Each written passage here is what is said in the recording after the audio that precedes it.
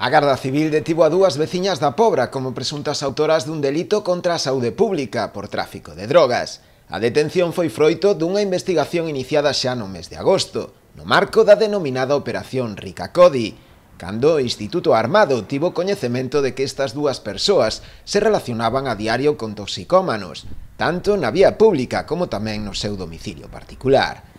Durante este tempo, as axentes puideron constatar como as agora prendidas dedicábanse a suministrar pequenas doses de droga a consumidores habituais da comarca. Unha circunstancia pola que mesmo chegou a ser detida en primeira instancia unha das investigadas, a que lle interviñeron 14 doses preparadas para a súa venda, ademais duns 500 euros en efectivo un rexistro posterior no seu domicilio, tras a correspondente autorización xudicial, permitiu localizar outras 43 doses de cocaína, 6 de heroína, 18 pastillas de metadona e máis de 700 euros en billetes e moedas.